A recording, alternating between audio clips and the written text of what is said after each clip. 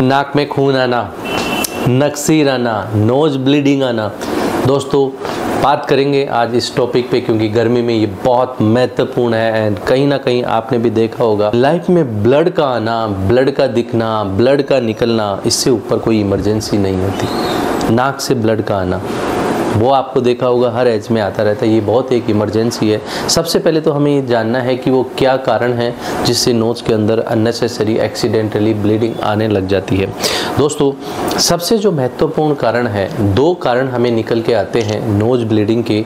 Number one trauma जाने अनजाने के अंदर कोई भी ट्रॉमा नोज़ के अंदर हो जाता है, कोई एक्सीडेंट हो जाता है फॉल फ्रॉम हाइट हो जाता है, छोटे बच्चे पलंग से गिर जाते हैं, या नाच, नाक के अंदर कोई फॉरेन बॉडी से पेंसिल या पेन से भी कई बार क्या है एक्सीडेंटली ट्रॉमा हो जाता है। तो एक तो क्या है नोज़ ब्लीडिंग का ये भी कारण होता है। इसके अलावा दोस्तों, बहुत बार क्या है, जो बच्चे हैं, वो क्या है कि नाक के अंदर बार बार उंगली देते हैं, कोई खरूंट होता है, उसके कारण भी नोज़ के अंदर ब्लीडिंग होती है। यस नंबर दो दोस्तों, दूसरा जो पहलू होता है, वो अगर जो नोज़ के अंदर आपका ब्लीडिंग होता है, उसमें ये देखा जाता है कि what is the age profile of the patient अगर पेशेंट अडल्ट है तो दोस्तों, जो 99 परसेंट मैं आपको बता देता हूँ, जो रीजन है ब्लीडिंग का, वो होता है uncontrolled hypertension uncontrolled blood pressure अब आप कहेंगे, दोस्तों, मैं तो कंटिन्यू ब्लड की गोली खा रहा हूँ ब्लड प्रेशर की गोली खा रहा हूँ। दोस्तों, होता क्या है कि कई बार एक गोली आज से डॉक्टर ने पाँच साल पहले हमारी चालू की थी एंड पाँच साल से वो गोली हम खाए जा रहे हैं। हमने कभी ब्लड प्रेशर हमारा मेजर नहीं कराया।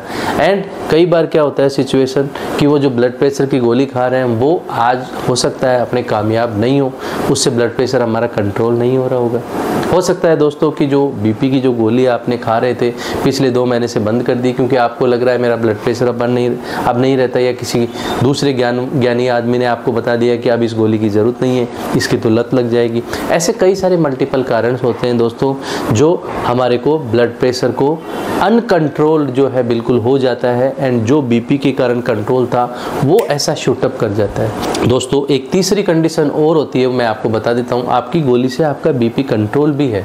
लेकिन प्रॉब्लम क्या है दोस्तों? हम जो इंडियन पेशेंट्स हैं मोस्टली लोग जो है वो we need the highly spicy food हम बहुत ज़्यादा साल्ट लेते हैं।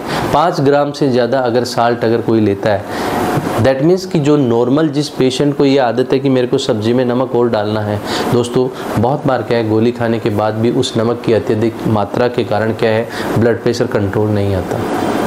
यस एंड उस ब्लड प्रेशर का जो है वो अनकंट्रोल वे में बढ़ जाना, जैसे किसी पाइप पे एक फिक्स प्रेशर से पानी जाता है जब तक ठीक है। लेकिन अगर उसमें बहुत हाई प्रेशर होगा तो वो पाइप कहीं ना कहीं फट जाएगा। That is the reason of the nose bleeding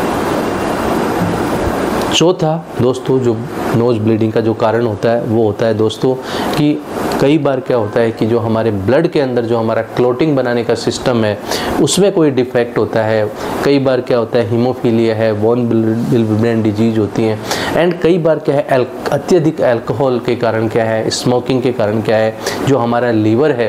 दोस्तों लीवर के अंदर जो हमारे एंजाइम्स बनते हैं जो क्लोटिंग फैक्टर्स जो बनते हैं वो कम हो जाते हैं उसके कारण भी हमारी ब्लीडिंग होती है। सो so, दोस्तों ये वो महत्वपूर्ण कारण है जिससे हमें ब्लीडिंग होती है।